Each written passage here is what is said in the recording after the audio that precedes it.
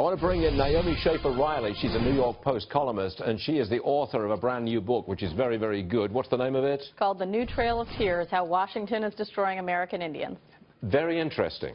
Now, I want to talk to you about how Washington, in my opinion, has destroyed our inner cities, specifically on education, because you're an expert in that area.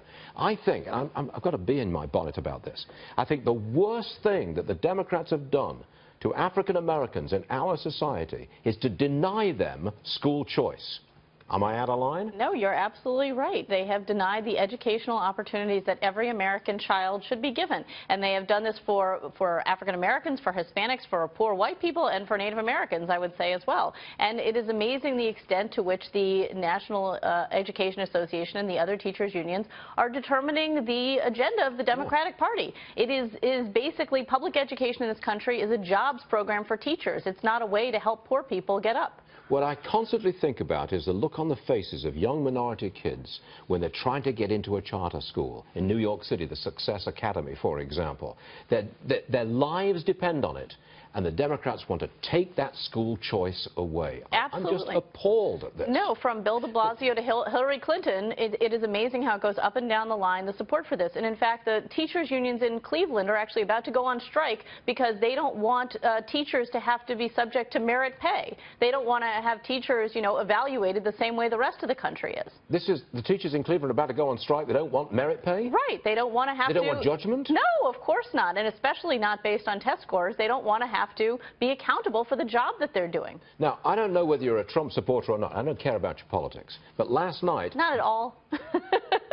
I've got a certain interest. Stop needling me. Okay.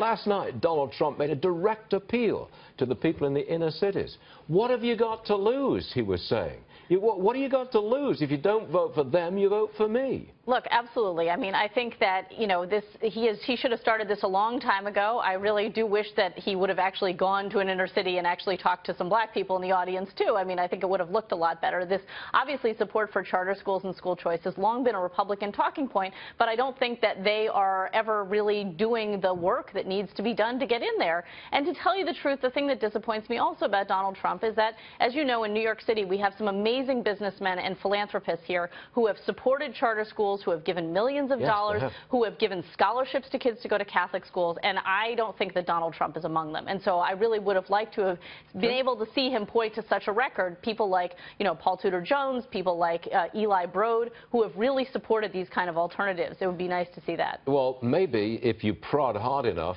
giving his new direction in the campaign, maybe he'll listen to you now. That's right. This is the time. Yes, it is. Naomi Schaefer Riley, thanks for joining us as always, and we like that book. Uh, Charlotte, what's the name of it again? And the New Trail of Tears, How Washington is Destroying American Indians. Well, there's a story. Come on back and tell us about that. I will. Thanks, George. Thank you very much indeed, Naomi. All right.